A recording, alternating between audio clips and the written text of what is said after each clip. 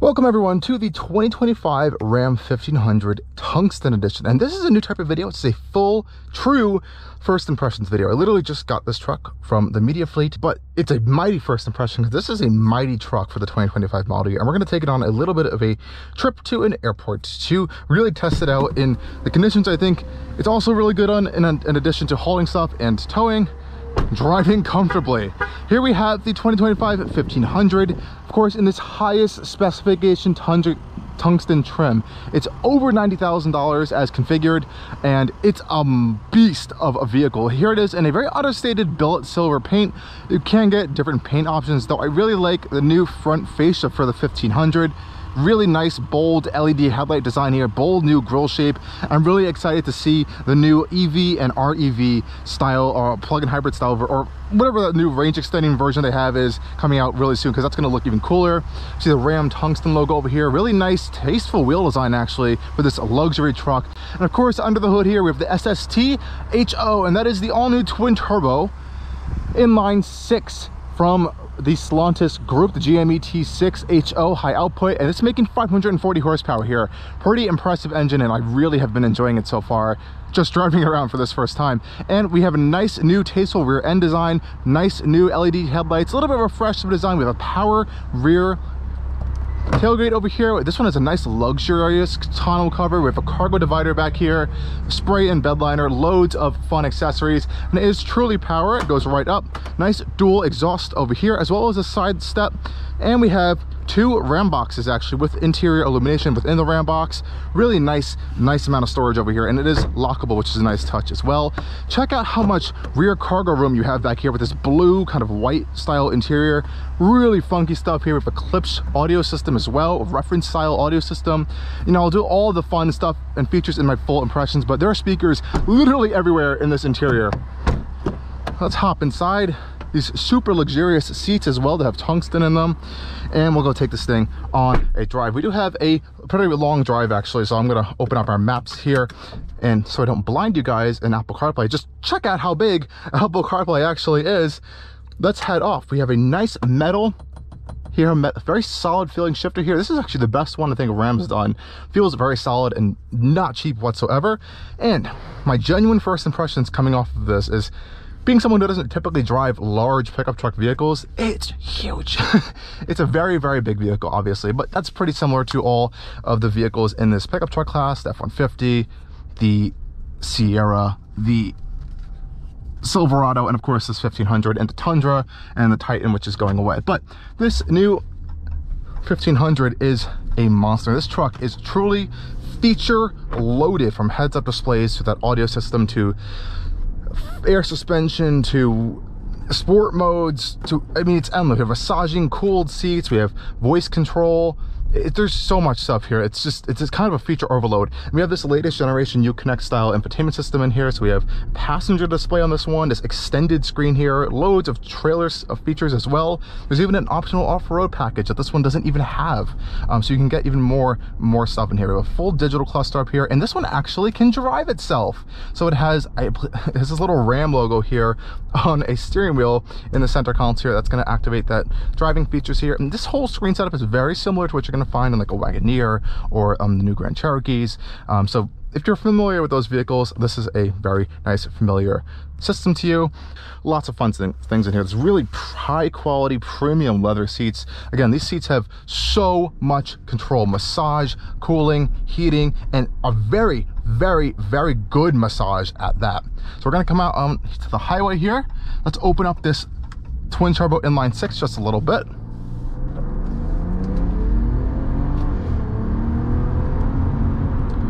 Whoa it's a potent powertrain and i have to say it's incredibly smooth one of the nice smooth engines I've experienced so far in a lot of these modern vehicles. And that's the beauty of an inline six. Inline sixes are inherently smooth powertrains. And I'm kind of happy they went with this powertrain because it produces a lot of nice power and torque very quickly for you, which is going to be a nice feeling in a pickup truck. And of course, there's a standard output and high output version of these engines.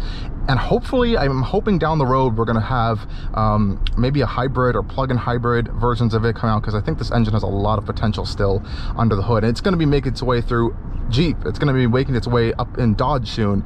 It's coming to a lot of new vehicles. So this is just one of the many applications to come of this powertrain and honestly pretty good replacement for a Hemi V8 the only downside is you lose that V8 sound but I honestly can live with it because this car honestly feels so smooth comfortable and that's what a luxury truck is. It's smooth comfortable and isolates you it, it, while also having that capability of the, the bed the towing capability and all that stuff there as well so honestly good impressions off the start this air suspension ride is just sublime. It's really good actually. It kind of just dances across the road so subtly. It's like it's tiptoeing across bumps and undulations. And just because of the size of this vehicle and the weight of this vehicle you really don't feel much. It almost feels like an ev in that sense where it has that weight and a good suspension to kind of dampen out all that fun stuff. Now again power is really good we also have drive modes here which are located on the steering wheel i want to pop it into sport mode for you guys because shockingly it does have a sport mode I don't want tow haul mode. Like I said, some of the software is a little bit glitchy sometimes. It doesn't like to select things, but you do get a cool animation when that kind of confirms you're in a certain drive mode. Um, and here we actually have traction off. So it actually turns traction off when you are in sport mode. It lowers you down to the aerodynamic ride height for better control and aerodynamics as well. It usually will do that on the highway just to help you with aero. And let, let, me tell you, this engine is a beast. It really gets up and goes really fast. Um, you hear those turbos spool up very aggressively as well. I honestly wasn't expecting that. The only thing really nice power there. I'm really excited to, to, try this in the upcoming new Charger Daytona gas version. Um, but what I was saying was, the only real issue here is the exhaust is just not good. And I mentioned that a little bit earlier. You're losing that V8 sound, and inline sixes can sound very very good but i'm surprised they didn't tune this to sound a little bit crazy. That might be for that other unique version that's coming out that has more of a performance edge to it. Again this is more luxury focused trucks here in the tungsten so they're probably going to want to be focusing more on luxury and power and just comfort and smoothness versus loud sounds and crazy abilities. Um, this has crazy abilities on the luxury side though Let's pop it back over into auto mode. I think that's the best mode to normally leave it in. Um, you also have four-wheel drive auto, two-wheel drive for high and for low right at your fingertips, and they all work and kind of transition quite easily. If you're really going to want the best fuel economy out of this whole powertrain, just pop it back into um, two-wheel drive. It's rear-wheel drive, which is pretty much what you're going to be driving most of the time. Um, and yeah, it's just really comfortable. And for the size of this thing on the road, I have to say the safety systems really keep it in lanes very well. And I do really want to test out this self-driving style system that we do have here on the Ram. So let's try it out. I actually have not even tested it yet. so we're gonna we're gonna be a, a, first look test right here. So let's pop on our little Ram logo here. It says Active Driving Assist ready. I'm gonna press set and voila, it's set. So we have our set speed here, we have a distance control, very easy to maneuver right there. I really like that. Um, that's about it. Now, I don't believe it's available to go in that full kind of hands-free style driving mode just yet. I think it's only on select roads. I do not believe this is a road that will do that because I know from experience this whole thing will light up green when it can has that full like steering assist but we can check by cycling through some of these screens here to see if we can go to our safety system display it says no hands-free look forward. So I actually really like how they tell you that it's not in hands-free mode instead of just giving you interesting icons. Uh, now it's doing hands-free. Look at that, just as I was poking it to do it. Um, and I like the little Ram logos on there. It's a really cool touch around the vehicle. Really like that we have this green um, motif around it to show you that you are truly in that hands-free driving mode. I, I think that's a great thing because sometimes you don't always know. There's like blue colors or different colors around you green and bold green saying hands-free is a great way to let people know that you're in a hands-free mode because it can be confusing across different vehicles for a lot of different people. But for now we're in some traffic. No lanes really right now we're merging so we're going to turn it off. Um, you know passenger screen you cannot see obviously as a driver. It has that um, coding on there where you can't see it but obviously passengers can see it. Personally i did sit in it and look at it. It's kind of you know, a gimmick. Uh, every single manufacturer that makes passenger screens, personally, to me, is a gimmick. I've never found the point of them. Um, yeah, you can plug in an HDMI if you have the time to do so for a passenger. I think you can connect like a wireless headphones to it, and you can view the cameras on here, and you can only view like the RAM built-in navigation, but that's pretty much about it. So, you know, it's there. I honestly would just leave it off, um, even if I was a passenger, unless I get really bored. I do like how you have two wireless chargers up front here. They call them the Ramcharger. a little bit of an Easter egg to the actual Ramcharger. Um, but, you know, some cool stuff in there. So much, endless amounts of storage. Um, pretty good visibility as well in here. And I love the leather stitching all across the dash. It does elevate that um, feel as well. But I'm gonna sit here, I'm gonna turn on my massage. Let's check out our massage modes here. We have waterfall, lower back, lower back and waterfall are really, really good. Um, honestly really good uh, a massage system some massage systems feel like they're just poking you um, i'm gonna have to say gm's massage systems really don't feel super intense this feels like an actual like massage chair like you have all those individual components of those air bladders moving your um back together so i honestly think it's a pretty good system I, i'm pleasantly surprised by it but I will update you guys on this trip. We do have about 21 miles left, 40 minutes of a drive, and we'll see what happens. If traffic, rain, and I do want to test out this audio system along the way. Let's go.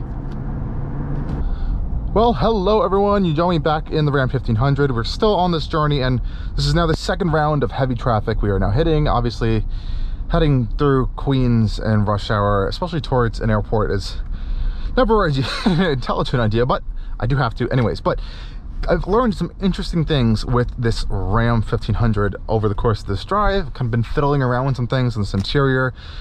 Oh wow, it, it, there's a lot of stuff to go through. And the first thing that I personally not too much of a fan of is how this dash can be laid out. Um, it's a fully digital cluster, like I mentioned earlier, but and I like the like um, bronzish color that kind of fits with the rest of the interior. What I don't like is this screen. It's just so unusual. I hope it's coming across on camera really well. I, it's just very unusual. And I thought it was just like you can kind of select each one, which you sort of can, and open it up to like the full dash page, but that's kind of tiny. Um, and these cards you can kind of like configure, but only some can have certain things on it. Very interesting. It's definitely not for everyone but it's an option. And of course you can go to like the full screen thing and just kind of cycle through um, your own screens that you want to see I'm more than fine enough with the speed in front of me, including the heads-up display is looking at the speed as well. Um, honestly, it's been just so comfortable. It just soaks up the bumps. It's super quiet in here. I'm just reiterating that because that's like some really high points here. Uh, it's honestly like, it feels like the Range Rover Velar I just got out of in here. It's like that quiet and just comfortable on the road. It doesn't have the same sort of like the super high-end luxury feel to the suspension system, but again, this air suspension is pretty, pretty good actually. Um, and I guess just the weight of the truck, like I mentioned earlier, kind of helps um, really keep this thing planted and settled on the road. Otherwise, um, the screen, again, I haven't had issues this round, but I have been able to play around with the shortcut screen here, so you can actually have some quick shortcuts here, so you can uh, quick activate your surround cam if you need to, which appears to be activated by driving. And I have to say, even if it's only allowed to be on this top portion of the screen, which is a little annoying, these cameras are crystal clear. I'm talking Tesla clear, and Tesla is probably like one of the clearest, and Range Rover and Land Rover have the clearest camera quality on the market. This is actually pretty much on par with those. It's that good. Um, so that was impressive to me. One of the other best parts of this Ram 1500 Tungsten is the audio system, and it, it took me a little bit to kind of get used to this audio system, playing across different genres of songs. You definitely notice a little bit of a, a strengths and weaknesses as to what this Klipsch system can do in this RAM, but with over 20 speakers, very powerful speakers, and they're literally surrounding you all over the place, except for on the seats, which we have seen in some other um, competition, but I think that's a fine omission here. We have them on a, a headrest right above us here, on the door panels, and they're really gorgeous metal speaker covers, even on the back of the seats as well. And I want to play for you guys a quick audio track to see if that audio quality is able to be translated through this camera. So let's go ahead and play. And before we turn it up to full volume, we can open up our unique Klipsch audio system guide over here, which is really just this cool display where you can play and start music from and it plays this nice animation for you. Um, other than that, doesn't do too much. So let's test that out for you guys real quick now.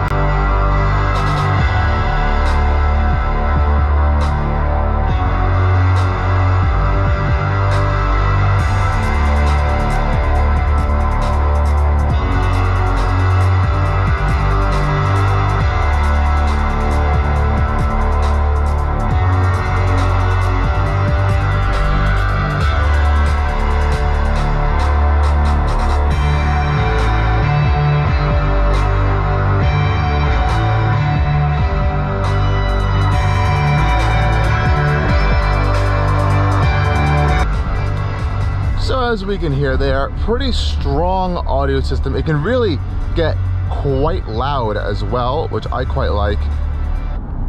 But in just in some areas, I found some of these speakers to just be a little bit kind of washed out at some of these higher um, audio levels, especially behind me, you can kind of hear the speakers whirring and fuzzing just a little bit in the background. I have noticed that across some songs. Not sure if it's just this particular model, not saying it's the system, but that is just something I have experienced with this week. But like I said, it gets very, very, very, very loud. Even if you just go up to like a 15 or 20 on the volume level, it's it feels like max on some other cars, and you still have another 15 levels of that vo volume level to even go up. So that's pretty impressive there.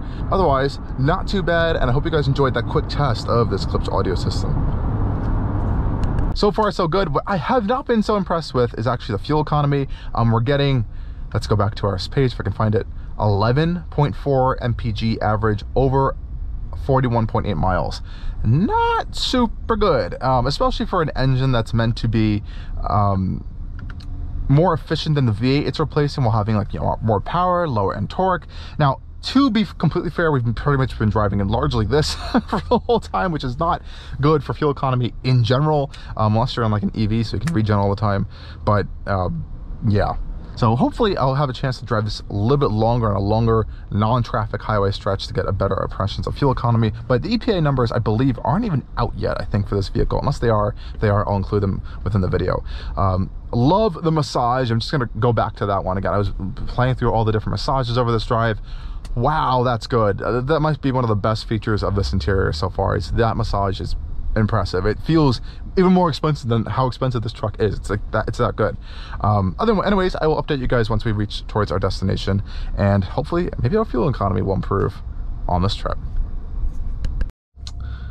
Well, okay, everyone, I've reached my destination, and I do have to wait for a little bit, but let's check out some statistics. 12.2 miles per gallon, so we went up about about 1 mile per gallon of actual highway driving. So it's definitely can go up. This says like 30 plus, so I think you are driving on highway trips, you know, coasting more, just coasting high speed, engine can rev a little bit lower. This can probably get pretty good MPG, but for the driving we just did, you know, wasn't wasn't wasn't super impressive. Anyways, um, you know, this truck still is very comfortable. It's quite nice in here.